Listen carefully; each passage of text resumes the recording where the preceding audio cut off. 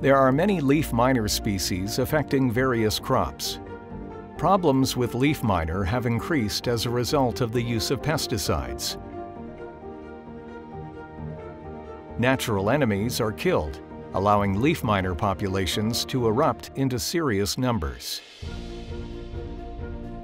Adult leaf miners are yellow and black-colored flies, at most only several millimeters long. The adult female lays eggs by making holes in the leaf, known as egg spots, by using her toothed ovipositor.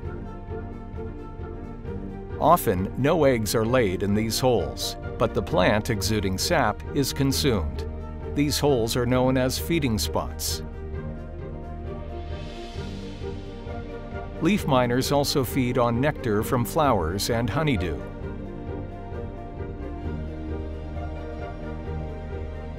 When the larva hatches from the egg, it right away starts to eat its way into the leaf.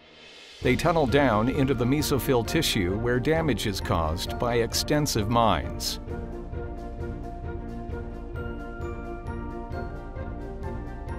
The outer layers of the leaf and stalk stay intact. These mines lead to cosmetic damage, leaves drying out, or even early defoliation. This can affect the yield,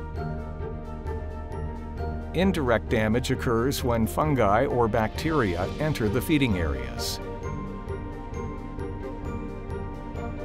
Before pupating, the grown larva cuts a sickle-shaped exit hole in the leaf with its mouthparts. The larva crawls out of the leaf, falls onto the ground, and will pupate in the soil.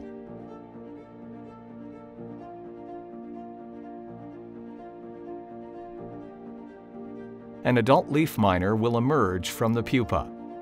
Within 13 days, the female can lay up to 160 eggs.